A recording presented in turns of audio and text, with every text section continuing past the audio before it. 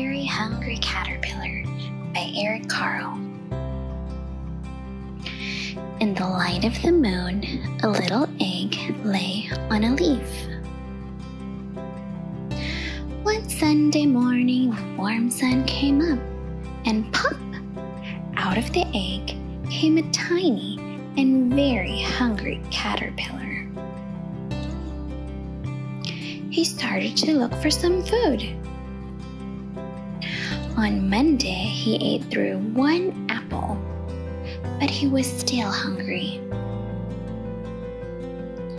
On Tuesday, he ate through two pears, but he was still hungry. On Wednesday, he ate through three plums, but he was still hungry. On Thursday, he ate through four strawberries, but he was still hungry.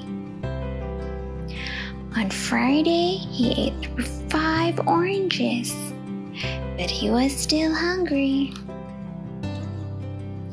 On Saturday, he ate through one piece of chocolate cake, one ice cream cone, one pickle, one slice of Swiss cheese, one slice of salami, one lollipop, one piece of cherry pie, one sausage, one cupcake, and one slice of watermelon.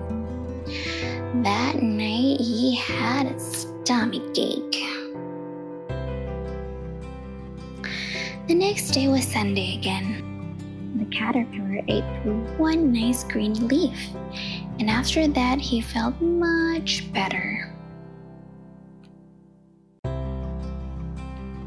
Now he wasn't hungry anymore, and he wasn't a little caterpillar anymore. He was a big, fat caterpillar. He built a small house called a cocoon around himself.